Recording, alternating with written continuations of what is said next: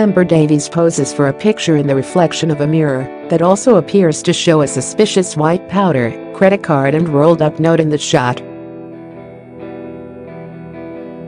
The Love Island star, 20, shared the image to her Instagram story after getting ready in a hotel room for the National Television Awards last night, but quickly deleted the post.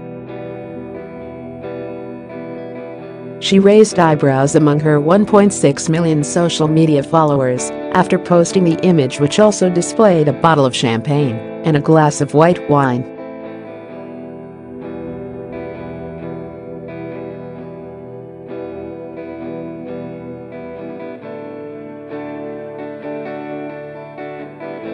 But sources claim that Amber struggled to resist the urge to drink at the NTAs and she may have celebrated the night with a few beverages.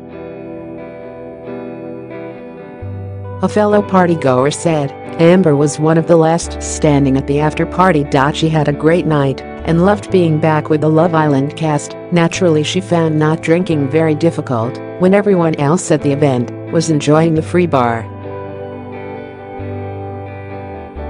Amber was pictured last night with new love interest Pete Wicks after the pair were seen cozying up together in the smoking section of the party. Kem has struggled to get over his split from Amber after seeing her move on with the likes of the TOWIE star. He previously told The Sun, I'm not going to lie when I say that it does really hurt. I am gutted. It does make me sad. It is hard to see. The Love Island champ, who won the series last year with X-Kem, previously said she had overdone the partying and wanted to change her ways in January. During an appearance on Lorraine she said, Obviously Kem and I separated, when every girl or guy goes through a breakup your friends are there saying let's go out, let your hair down, so I've done quite a bit of that recently.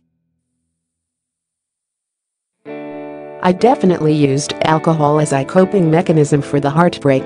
You know you drink, drink, drink, you let your hair down and have fun, but I took about four steps when I should have just powered through. I do want to concentrate on my fitness and more like healthy mind and healthy body and I think dry January is a really good way to kickstart it.